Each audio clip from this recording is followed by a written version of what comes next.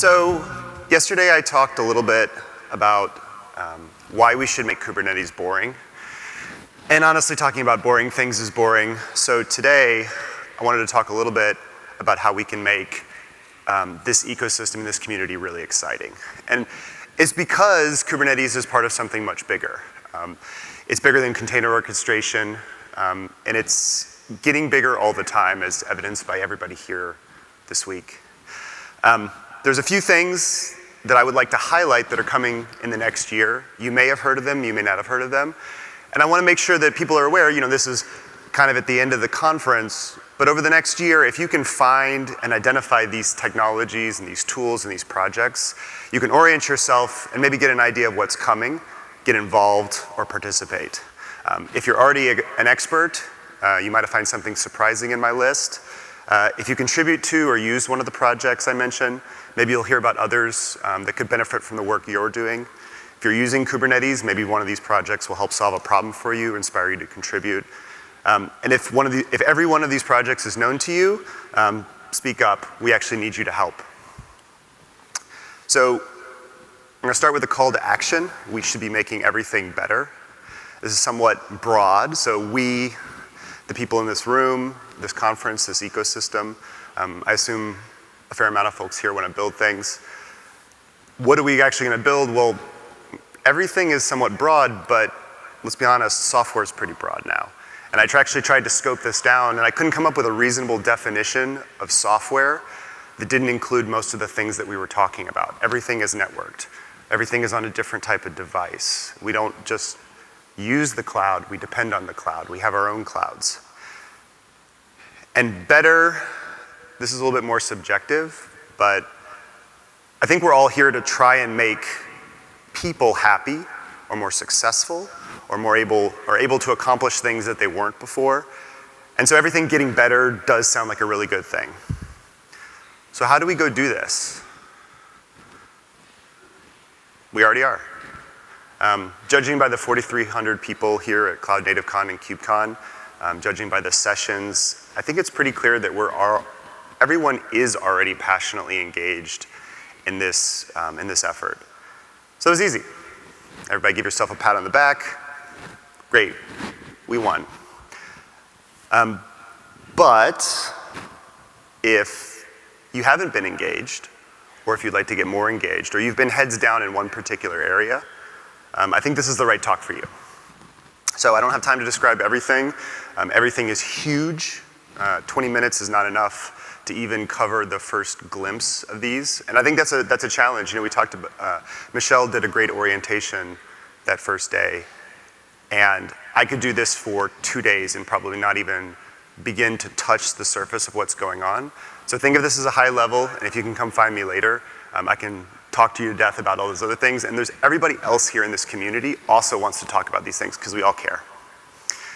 So um, there's 2,200 projects on GitHub that are labeled as Kubernetes. I did not go and look at each one of them.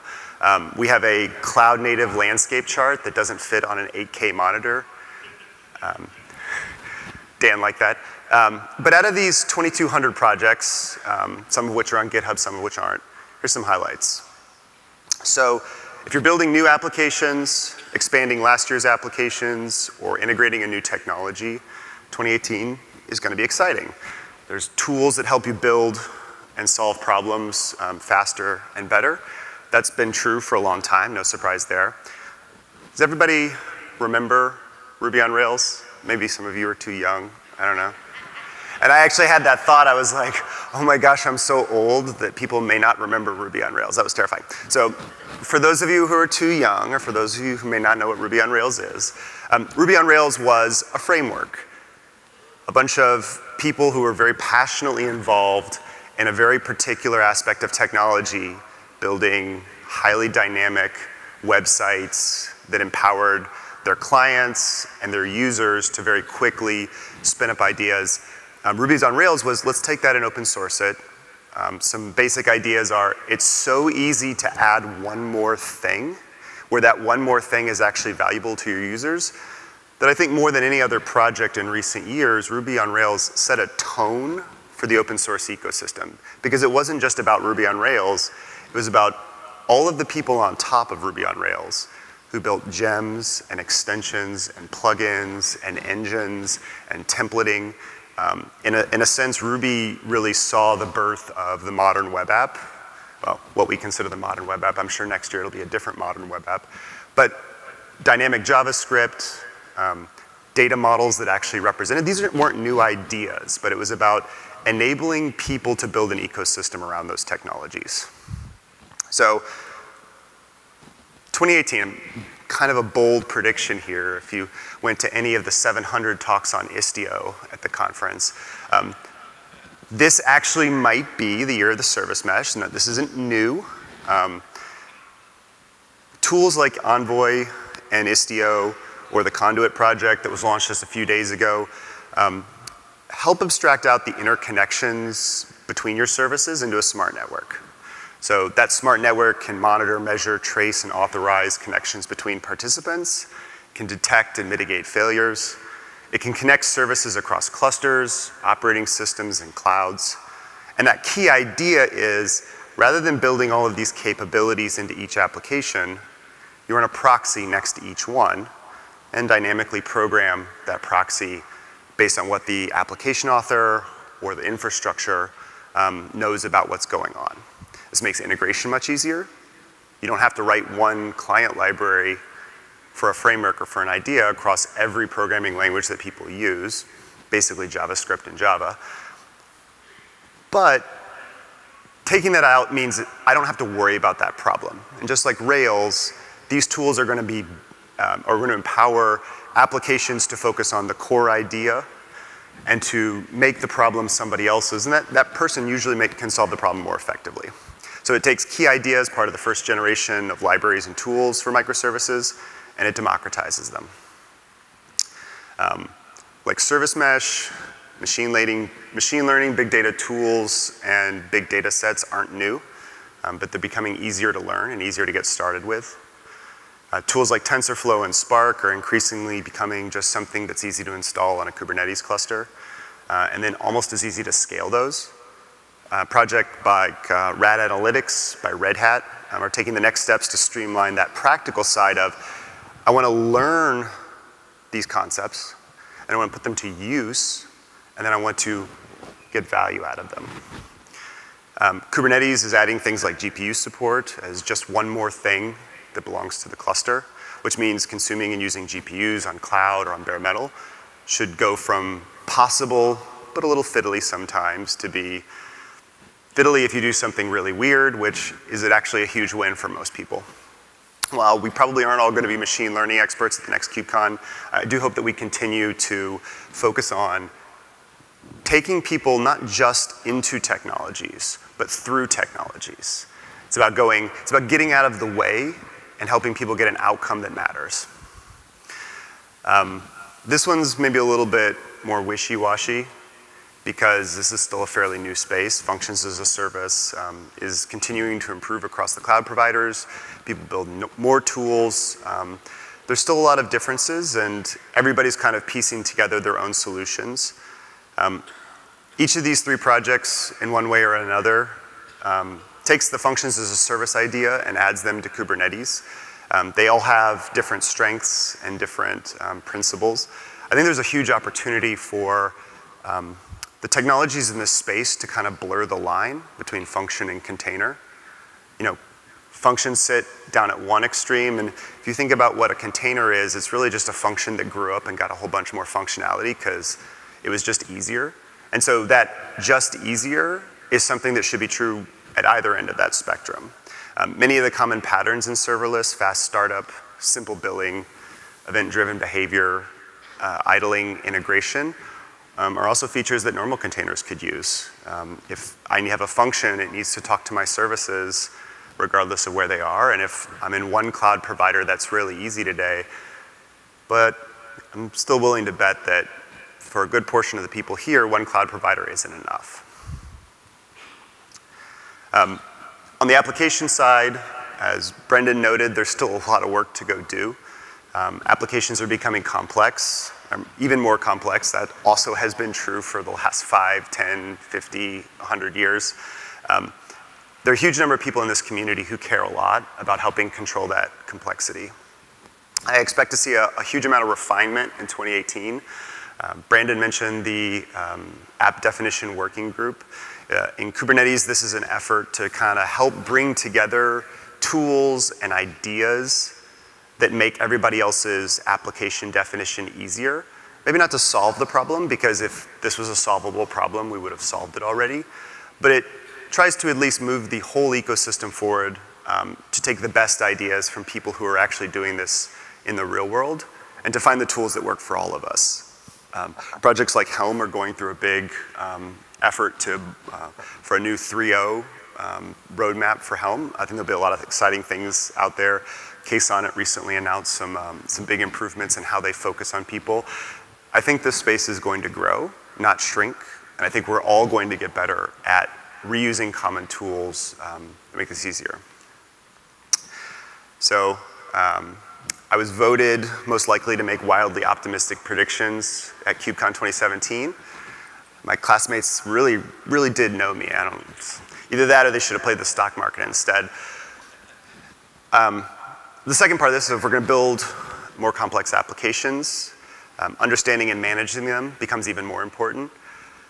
Identity, if you may have seen, there was a few sessions uh, at the conference this week around how do we give containers identity? How do we give services identity? Um, Istio, in a sense, is out working on some of these ideas. A lot of people who are deploying Kubernetes have existing identity systems that they want to fit in to their clusters because it's not just enough in 2017 and 2018 to expose two public services on the internet and not protect them or not give them any authorization or authentication because there's lots of bad people out there. There's actually a lot of bad bots out there that people aren't even involved. They just go and they figure out your service and they take all your data. And so that needs to be easier. Um, the basic idea that we'll be working towards in the container identity working group is ensuring that on a Kubernetes cluster, you can plug in identity systems that help your containers interconnect to work with other projects in the ecosystem like Istio, but also with SPIFFE. Um, stands for Secure Production Infrastructure for Everyone, which is a, a, a group of people um, and projects and companies that are working together to kind of set a combined identity system across cloud providers and clusters and provide uh, a lot of power around who's um, identifying people and exchanging identity for credentials. Um, as well, there's a lot of existing tools in this space, like um, Kerberos and Active Directory are a really good example, that have existed for a very long time. And there's people who have massive um, deployments uh, today where they're running things that are almost like containers at scale. And we want to take those lessons and bring them forward, because if we just reinvent everything, I'm not really learning from history. In the policy space, this, this is an intentionally sparse slide because we're just now starting to really add the extension points in Kubernetes that make it possible for people to plug in in an open way.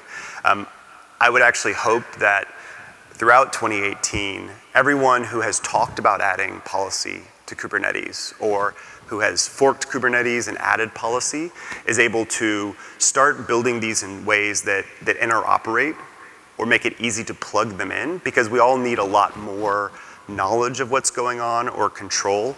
The Open Policy Agent is an open source project um, that I do like to talk about. They've worked with Kubernetes and we've had a lot of discussions about how you can define, um, they have a, power, a simple and powerful language for doing policy rule definition.